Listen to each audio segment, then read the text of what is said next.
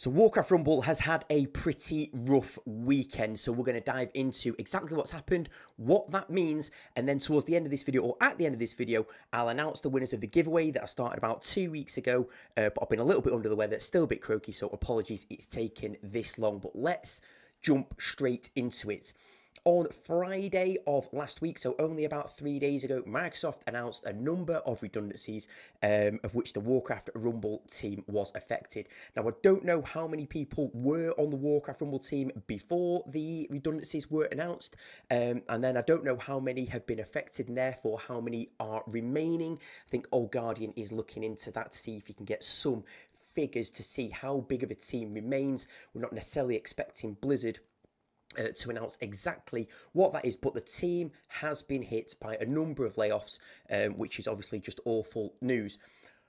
In typical Blizzard fashion, this was announced on a Friday. What that meant was uh, the number of Discord uh, communities that I'm in was rife with uh, speculation, um, and there's been a growing um, frustration and annoyance with a number of things in the game, a number of enduring bugs, which we're going to talk about shortly.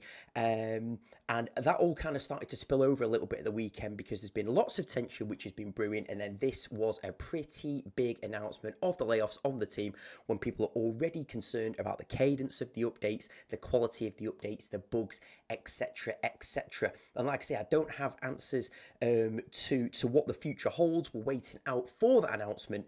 Um, hopefully something will come soon. But over the weekend, there was a bit of a vacuum created where there was a significant event um, and then um, we were kind of in the dark about what that actually meant. Now, the Warcraft Rumble team are having a bad time. I am not here to kick the Warcraft Rumble team whilst they are down. However, this is feeling like a pretty low point. So there's potential we can use this low point uh, to address some of the issues which we've been dealing with over the history of Rumble since it went global. So roughly a year ago, just coming up to its one year anniversary, um, to try and make the game better in the future. Because fundamentally, uh, there's a pretty good game in there somewhere. It's it's not reached its potential. Uh, I don't think anyone is going to be able to argue against that. But fundamentally, there is a lot of us who have committed to this game um, through time, effort, financially. I'm going to show you um, at some point later uh, the uh, expense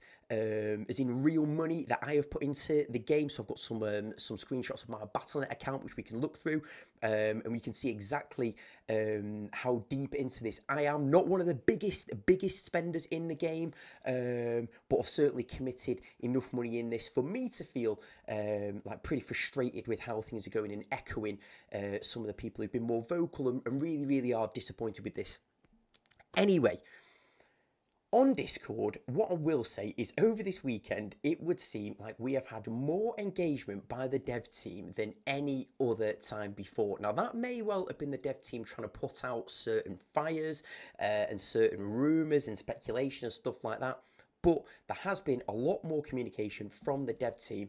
And I was in the military for quite a while. We had a phrase, no comms, no bombs. And that was all about the importance of communication to essentially reach your end state, get the job done. And I think a lot of the frustration that people have had is when something has gone wrong um, or when something has been announced, um, but then there's like no follow up communication after that. So it has been useful that some of the devs have come on over the weekend uh, to chat through some people. Now, we might not like what they've said, right? And that is just the way that it goes, right? But I think there is some value in the fact that some people have, have come out um, and, and, and tried to answer the questions, like say, whether the answer is what you wanted to hear or not you know, it's appeased some people. It probably will have uh, further inflamed uh, the situation for others. Now, what I want to talk about is bugs that are in the game at the moment. And these bugs are, are significant and have been in the game for a long time. And whilst there are people that want additional features into the game and additional minis and all the rest of it, for me, there are fundamental, basic, foundational things that need to be addressed, that need to be implemented, that needs to be fixed before we even start considering about adding more content and, and, and all these other things. And we're going to start out with something that has affected a lot of people, and that is the missing guest accounts. Now, I'm not going to go into all the detail of the who, what, why, but essentially there was a bug in the game. I can't even remember which one it was now, and the uh, one of the suggested solutions was to uninstall the game and then reinstall the game. What happened was people who were on guest accounts who hadn't linked to Battle.net accounts have now basically lost their account and there this has been going on for quite a while now there doesn't really seem to be a way of regaining access to their account and tied to this is a number of payment issues which are in the game. That's people who have bought things and then not received the goods that they've got. And then there's been subsequent issues with refunds, be that through Warcraft Rumble, be that through their App Store, Google Play, or, or uh, iOS. Um, but then there's been people who've been able to make payments to the game whilst on a guest account, and now that guest account is gone, and those payments are seemingly have been, you know, just just vanished or whatever. Um, so fundamentally, um, this has uh, highlighted an issue where your payments aren't tied really to anything, and you can just lose all of it in one go. And for me, if there are issues around account ownership and actual money being lost, that is massive. And I can only imagine the rage that certain people are feeling by not only the fact that this has happened, but how helpless and how um, you know, there's just a complete lack of answers, a complete lack of support, and a complete lack of hope or promise um, that there's anything that can be done to get these accounts back. So that is still underway and that has been bubbling away for a while. And even though I wasn't affected, it is definitely a frustration to see so many stories um, of people that are affected by this. As far as the game goes, then there's been another Onyxia bug in there, which won't affect many people, but there was an original Onyxia bug where you could put so many well pegs down that she stopped spawning her ads, and then you could just roll over. And there's another one now where the Earth Elemental, I think it is, will taunt, and then Onyxia won't phase and it just makes a mockery of, of that the whole um, of, of that whole part of the uh, of the campaign with Onyxia supposed to be in the pinnacle of it uh, and now uh, she's broken again. But on a PvP side of the house, I haven't played PvP at all since this book came in, and it has lasted for the entire season, and it is the Spell and Unbound bug.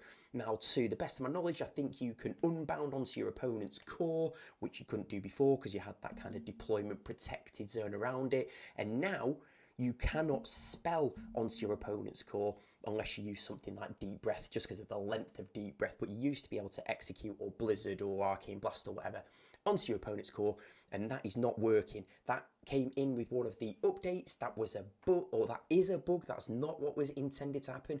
That's been in the game now for three weeks, four weeks.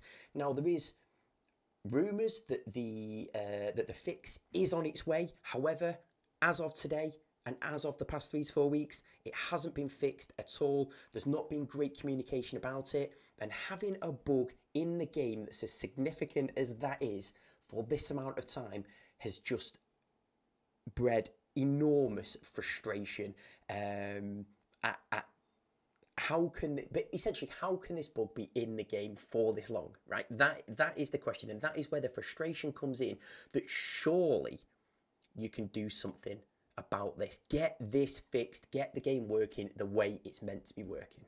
But this is going to lead me on to the testing process because whilst there has been some very good features uh, which I, uh, you know, or some exciting stuff which has been announced over the past uh, almost a year, what we found time and time again is that the actual execution of the update has left a lot to the imagination. It's hard to think of an update that went smoothly, where, where things actually came out the way they were. The one that springs to mind is possibly Molten Core, although I don't think everything from a phase transition perspective was maybe working, or that might have been Sieges. But anyway, there's not really been an update which has gone smoothly, which has led to quite a lot of questions about the testing process leading up to uh, patches being rolled out One of the questions is that certain patches are enforced and certain patches are not enforced. Now, naturally, when I see something in the App Store, I want to go and download it. I want the latest version, I want the latest content and all the rest of it. But quite often, that has meant that it's broken the game. Then you end up with a player base on two separate versions of the game, which then messes up people like, you know, things like PvP matching or Siege or, you know, Molten Core matching or whatever. Um, and that just puts you in a bit of a weird spot anyway. Then you've got some people with a broken game because they updated, some people whose game game is, you know, ticking over with the usual bugs on it. It it just seems like that a lot of the patches are rolled out and tested on the production environment. Now I'm no coder, I'm no games engineer or, or anything like that, uh, but I'm familiar with the concepts of having your development environment and your your live production environment. And I don't know uh, the way that Rumble works and tests these sort of things, but it does seem that nine, nine and a half times out of 10 that a patch is rolled out and it causes some sort of issue. What I do know and what I do for a job is I work in cybersecurity. And when we're talking about updating systems, etc., is that we always ensure that we have a rollback plan in the case that something goes pear shaped and we are dealing with a, a business who depends on a particular system working that we can't then have that system being down for X amount of time. So something will be uh, implemented, it doesn't work the way we expected, we will roll back the plan and then work out why. And these rollback plans don't seem to happen in the game. Now, somebody who knows more than me might tell me that that physically can't happen because of XYZ reason, and that's fine. Um, but still, I, I am yet to hear why a rollback plan wouldn't be able to be implemented uh, to un uncock up whatever just got cocked up. And that leads on to the fact that Blizzard, as I said at the start, when they released their um, or they announced their redundancies on a Friday, have had a habit of releasing pretty big updates on Fridays. And these updates have generally come with pretty large bugs and the team is then off for the weekend, meaning that generally we are sat around with a bug for two or three days until Monday comes round and, and then, you know, this, this bug can get addressed. Please, please stop updating the game on Fridays, right? That's like IT 101. That's like the basics of IT. Don't update your game or don't update your production server or system on a Friday you're only going to shoot yourself in the foot. What's, you know, never mind what's the best that can happen. What's the worst that can happen? The worst that can happen is it go pear-shaped and then we're all knackered for the weekend and it just sucks. It just makes the game feel rubbish. And that's, this is just this, these are just examples of, of this brewing discontent that there's, a, that there's been. So there's certainly a number of things that need to be addressed, but we may, uh, to try and take some kind of positive, we may be in a position now where we can focus on uh, you know, on putting some of these some of these things right. Look, call me call me a blind optimist or whatever it is, but um, but you know, these are the things that I'd like, um, you know, that, that really need to be solved sooner rather than later. What all of this has meant over the period of time, over the past months and months and months, is that trust within the game, within the team, from the community is is honestly at an all-time low and that has been reflected in the, uh, the, commentary in the communication and the conversation that has happened in the discord over the past over the weekend is that it's kind of got to a breaking point. People don't trust what is going on because it has been um, setting up an expectation of a particular update and then the usual uh, you know you know, being let down or or whatever, whatever, however you want to frame it, is essentially is that the update has never lived up to the expectation um, or that we've hoped for. There's always been some bugs. It's always broken something, and because this has happened so frequently that the trust is at an all-time low. And the problem with that is that to rebuild trust is very, very difficult. You can lose someone's trust in an instant, but to get it back again does take you a very, very long time. So unfortunately for the Warcraft Rumble team, and whilst there are people who are you know faithful to the game, and you know, and I'm one of those people, unfortunately, there is not much goodwill in the community, so the team really are going to have to pull out some of the stops uh, to get people back on side. Now, I said at the start of this that I was one of those people, well, one of a number of people, if not most people, who are feeling extremely uh, frustrated about the game. And not just because the game is not doing necessarily what we thought it was going to do, but because we are financially invested into the game and don't feel like we're getting out what we've put in. And like I say, I am not one of the big spenders, but for transparency, so that people can see what I've spent and where we're kind of coming from here on the screen now, this is my uh, Battle.net. So as you can see in the top right, OJH, obviously that is me. So you'll see back here, this goes back uh, to my first purchase, which was right at the start of November, so the game had only just gone global. Um, unfortunately, um, which is annoying because I did want to see exactly how much I'd spent, but around the totals here, that they, that for some reason it's blanked out, um, and I haven't really got the time to go back and, and find out exactly how much each pack cost. So we're just going to have to look at how many things I've bought rather than the exact pounds and pence. Anyway, there's going to be a few World of Warcraft ones in there um, because for some reason they show the figure. Anyway, back in November, bought a few things here and then a few more things. Um, Arclight Booster coming in there, got some dungeon stuff when they come in. Um, what, what, else we got here? Must have been when I completed Darkshore, uh, Lordaeron, is that how you say that? Anyway, uh, another dungeon one, so plenty of things going on through November and into December. Um, a couple around December here, a couple of festive, wintry type packs. I beat Un'Goro there, treated myself just before New Year's Eve. Um, bit of a horde stuff. Season 3 Rare Mini, can't remember who that was. Thaurissan? Sylvanas? Can't remember. Someone like that. Hero Winterspring. Uh, then what else we got? Uh, more dungeon stuff. Must have been struggling on a dungeon on that particular week. More into um, into February. Well, look, loads of stuff I bought in February. Going mad for it. Steel Grill stockpile. Was that quite an expensive one? Can't remember. Anyway, um, war. I was keen for it around February. Clearly, the lead up to Valentine's Day wasn't affecting me. Um, so loads of stuff. Platinum pack, another Steel Grills stockpile there. Um, Treasures Season 4 Mini, uh, Hero Blackrock Mountain. So I've, look, I'm financially in this. No, I've not bought thousands and thousands of pounds, but look, there's been a you know a reason reasonable commitment. Um, got all sorts of stuff going into April, into May, loads of stuff here. What we got more May? We got all sorts going on in May. Mythic Power, nice. Um, May, May, May, May, May, June. It was my birthday on June the 2nd, so I must have treated myself just after that. Um, Essence of the Fire Lord, great. Okay, so we've got loads in June. Oh my goodness me, loads more in June. God, I went mad for it in June. What happened in June? I get a bonus at work or something. Anyway, uh, and then into July, and then a few in July, and then in August there was one, two, three, and then so far in September, and the date today is the 16th. So so far into half, over halfway through September, and so far I have bought one thing, and with the only, the fact that I only bought three things in um, August, but then going back to June where I bought about 25 or 30 things, is that even for me, I'm committing money to a game and don't feel like I'm getting enough back from it. You know, the game spends as much time or more time, you know, feeling broken uh, than it does feel like it's working. And I just at the minute, I just can't keep committing money to this. So I, I am where I am, and I'm, you know, we're just waiting. I'm just waiting to see what is what.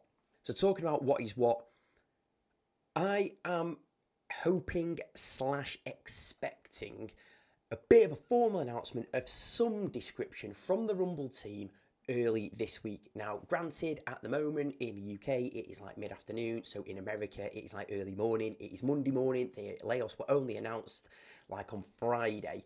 Um, so I'd imagine there's a whole lot of work going on with the team, uh, sorting out you know themselves. At the end of the day these are people with jobs and, and whether um you know whether you think they've done a good job or a bad job is that you know these are people who have who have been told that they're losing their jobs. So they've got definitely got concerns and things that they want to get done they're prep for whatever they're going off to or whatever. But at some point i would expect a formal announcement from blizzard to talk about maybe not what's happened but hopefully the future.